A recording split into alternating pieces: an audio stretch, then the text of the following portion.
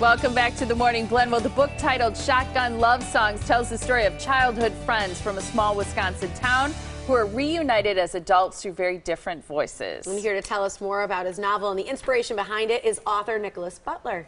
Great to have you here.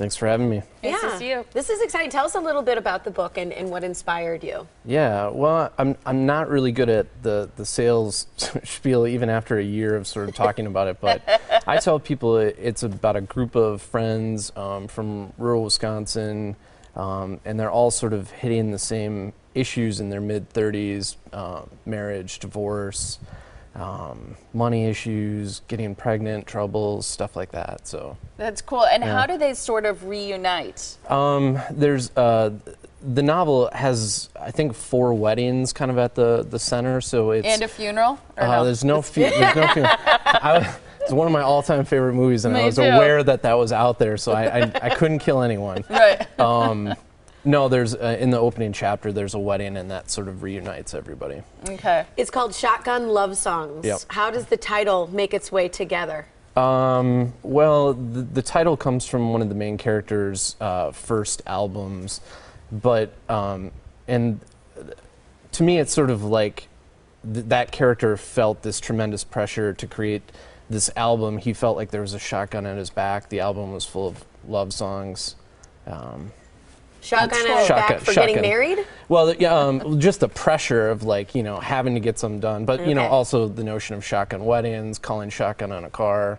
Yeah. I like that. Just- what about the classmate, your classmate, Yeah. Mm-hmm. a, a real person who um, became part of a rock group who's sort of the Yeah. inspiration for this book? Yeah. Um, well, one of the characters in the book is, is certainly inspired a bit by Justin Vernon, who's um, probably o- most certainly Eau Claire's most famous uh, product. And he was a year behind me in school and just a really good guy. And when he, you know, broke through and had his big success, it was super is he inspirational. Um, he uh, founded the band Bon Iver, but Yeah. he's got all kinds of crazy, wonderful side Was he a friend of yours? um, I wouldn't really necessarily say that. We went to school together. Um, we were acquaintances and student council and stuff like that. But the most important thing to me was his success and the fact that he came back to Eau Claire, even though he had the ability to move anywhere he wanted to in the world. He wanted to come home. So. That's cool. Do you think, you know, writing a book with Wisconsin roots, that the, the people who love this kind of book are those from Wisconsin or that people from around like an inside view into that rural lifestyle? The book is a bestseller in France. It's doing great Really? in Spain and Italy. Um, yeah, we sold the. I mean, it's sold in like nine or ten different foreign countries. So What have you heard about? Have you heard from readers and, and why they Yeah. say they love it so much?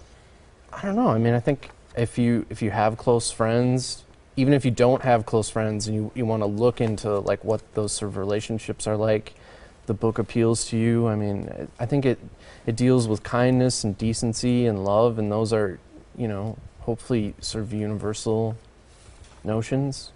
Yeah. I don't know. I don't know. I like that. Um, tonight you're at the Shorewood Public Library following an, uh, an evening with with you that starts at seven. Uh, but it's also part of this Shorewood Reads um, a- a- event that's going on, and you're the featured author for it. Yeah, yeah, it's been totally overwhelming. The the whole community of Shorewood, it appears, is excited about my book. They're reading my book. They're doing uh, book discussions. They've produced like special artwork. Um, there's there's kids in the high school that are, are you know doing like concerts and, and sort of musical projects related to the book.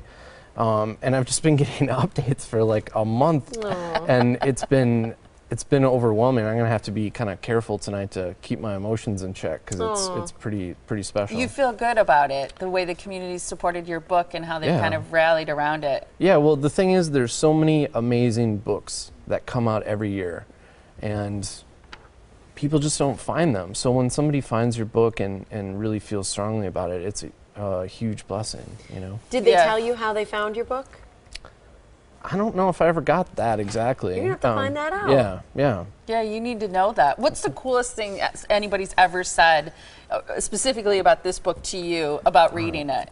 Um, people tell me I- I'm again, I'm really blessed. People tell me wonderful things all the time, and if they hate my book, they don't tell me that. So that's that's the other thing. But Another blessing. um, I had a gentleman come up to me after reading, and he'd recently um, lost his dog, and he said that my book had helped him sort of get through the weeks after that. And I guess I was sort of reminded of that because um, everybody had a dog here today on the show. Right. um, but uh, actually, Yoda was, you know, giving me a look backstage. I think he was curious about my beard or something. But Yoda does give a lot of looks. yeah, Yeah, he does. He He's seems got a like a nice dog, but you got to watch out for Yeah. Yoda. Yeah, He's he- got some thoughts in that head. He's Yeah. got a penetrating glance. What What's next for you? Are you writing more?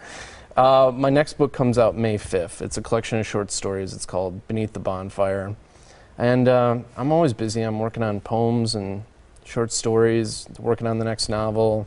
So, Good for you. exciting. That's Yeah. fantastic. We're going to give information right now so that people can come and check you out. It's a wonderful thing that Shorewood is doing with the, the this um, Shorewood Reads program. It's awesome. And tonight the book signing is at seven o'clock. It's at the Shorewood Public Library. People can find out more about Shotgun Lovesongs and Nickolas Butler by visiting your website. It's nickolasbutler.com. And it was a pleasure for us to meet you. Um, it's a free event too. We want to mention and open to community members. Thank you so much. Nice to Thanks meet for you. Great to having meet me. you. Keep up Appreciate the it. good work. Come back Absolutely. again I after like your that. next book. Your short like that. stories. right on. Yeah.